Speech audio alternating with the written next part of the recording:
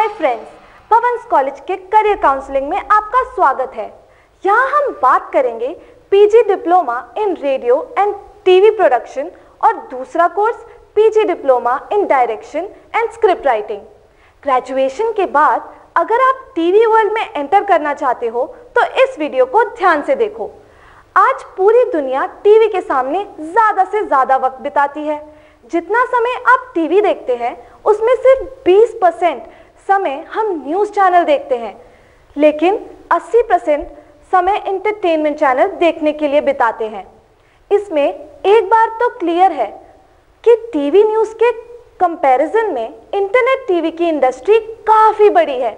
Admission के दौरान student अक्सर ये सवाल पूछते हैं कि हमें PG diploma in radio and television journalism के कोर्स में या टीवी प्रोडक्शन एंड डायरेक्शन में एडमिशन लेना चाहिए? इसका जवाब सिंपल है। अगर आपको टीवी न्यूज़ चैनल के साथ काम करना है तो PG diploma in TV journalism join करो। और अगर एंटरटेनमेंट टीवी इंडस्ट्री ज्वाइन करनी है तो प्रोडक्शन या डायरेक्शन के कोर्स में से किसी एक को ज्वाइन करो। मैं ये भी कहूँगी कि टीवी न्यूज़ कुछ शहरों तक ही सीमित है। जैसे दिल्ली कैपिटल सिटी है तो न्यूज़ का बोलबाला है। पर एंटरटेनमेंट टीवी पूरी दुनिया में फैला है। और एक बात समझ लो, नौकरी करनी है तो न्यूज़ चैनल ठीक है।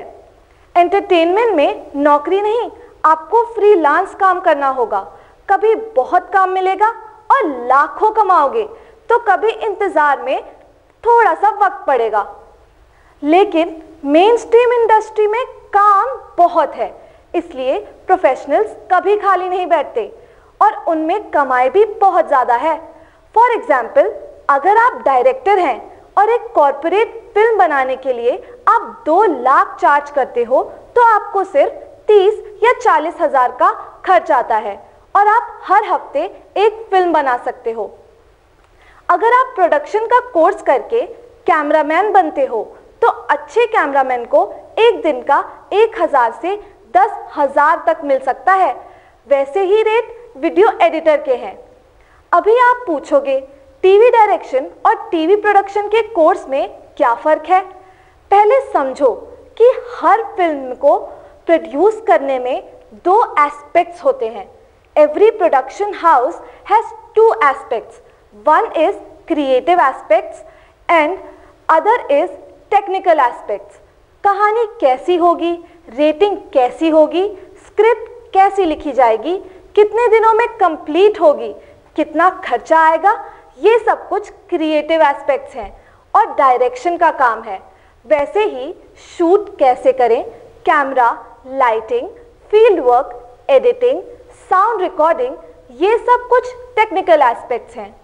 और ये प्रोड्यूसर का काम होता है। हमारे कोर्स में डायरेक्शन के स्टूडेंट्स और प्रोडक्शन के स्टूडेंट्स सारा साल साथ ही होते हैं। लेकिन जब प्रोजेक्ट बनाते हैं तो डायरेक्शन के स्टूडेंट्स क्रिएटिव एस्पेक्ट संभालते हैं। प्रोडक्शन के स्टूडेंट्स टेक्निकल की ज़िम्मेदारी लेते हैं। सबको सब कुछ सिखाया जाता है, जिसका जैसा इंटरेस्ट हो। इसके लिए हमारे सारे स्टूडेंट्स ऑलराउंडर होते हैं। इसलिए उन्हें आसानी से जॉब भी मिल जाती है। बाकी आप क्या कर सकते हो? एडमिशन टेस्ट अटेंड करो। आपको पता चल जाएगा कैसे अप्लाई करना है वगैरह। इसकी जानकारी टीवी स्क्रीन पर है। सोच लो। माया नगरी में आप करियर बनाना चाहते हो तो भवंस कॉलेज आपके साथ है। बेस्ट ऑफ़ लक याद रहे, भवंस कॉलेज ज़िंदगी बना दे।